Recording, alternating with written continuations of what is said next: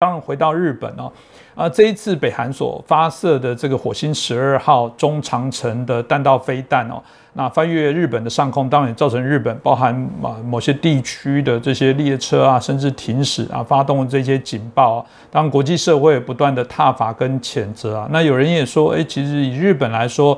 他们应该也有足够的一些啊防卫的一些能力哦。那大家也很好奇，说日本在这一次啊所面对北韩啊飞越上空啊这个飞弹的这些挑衅哦，他们到底是什么样的一些回应的状况？到底是抱有怎样的的一些态度哦？是不是也请老师可以继续帮我们分析？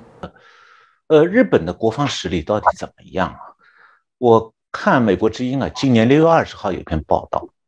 他说：“日本的现役军人不过二十四万人，好像跟台湾差不多哎。然后呢，在环球火力的排名当中，日本是名列第十七。但是，在世界最权威的军事排行机构的整体军事实力排名当中，日本高居世界第五。特别是日本的海军更加强大。”美国有个智库叫外交关系协会，他有个资深研究员，是个日本问题专家，他叫 Sheila Smith。他写过一本书，就是《日本强军在一起：军事力量的政治化》（Japan Rearmed: The Politics of Military Power）。他在书里面这样看的，他说，在武主要的武器系统方面，他日本呢在技术上处于领先行列。如果你看一下他的武器装备，那么日本拥有一些世界上最先进的硬件。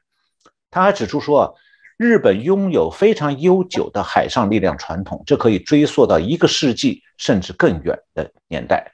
那日本是继承了以前的非常丰富的海战教义和对海战战术的深刻理解。他，这个希腊 Smith 认为啊，日本的这些经验非很重要。因为不只是说你有什么样的船，船有多大，他认为说日本的海战知识博大精深，只是呢日本不会像美国的第七舰队和中国海军那样表现出来而已。这个这位作者透露啊，美国的海军就非常敬佩日本的海军能力。那么美军美国海军认为啊，就日本的海专海军的专业精神和知识而言。日本的海军堪称世界上最好的海军之一。那么他的看法是说，古今中外以弱胜强、以少胜多的战力不胜枚举。他说：“看看乌克兰战争，大家都以为说俄罗斯有一支非常先进的现代化军队，但他战场上和乌克兰之间较量的时候呢，俄罗斯表现看起来不怎么样。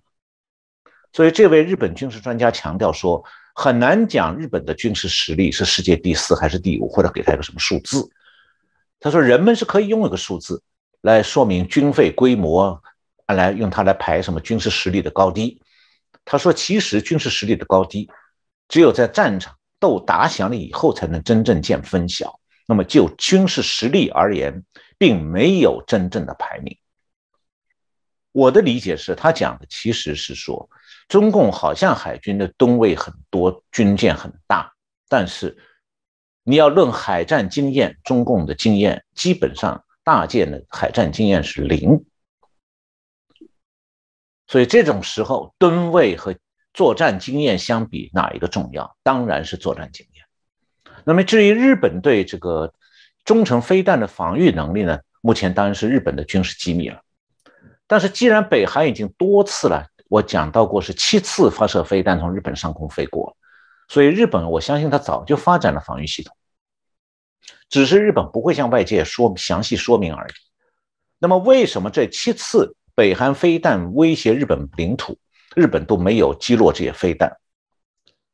关键是在于说，日本只会击落真正对日本国土构成威胁的飞弹，但没有必要去击落在高空路过的飞弹。这句话，我想强调的是高空路过，不是说每颗飞过日本的飞弹都要击落。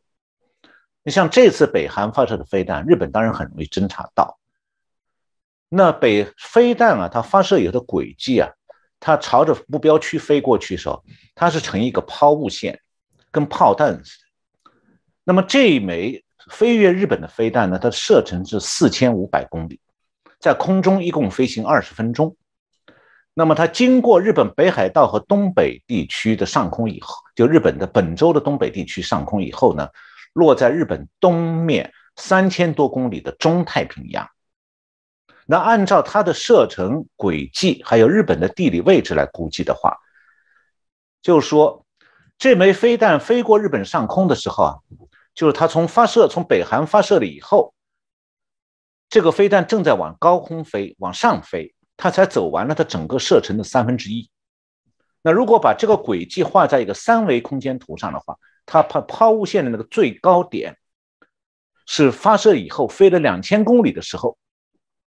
那才到了最高点，而经过日本的上空的时候，这个飞弹才飞了一千多公里，正处在这个如果这抛物线是这样来看的话，左半段这个抛物线，当时飞弹经过日本时候是在这个左半段中间这个位置。那么在这个左半段的轨迹的阶段呢，飞弹呢是在继续爬升，朝轨迹的最高点飞过去的。所以啊，飞弹经过日本上空的时候，实际上。不是朝下打，是朝上飞。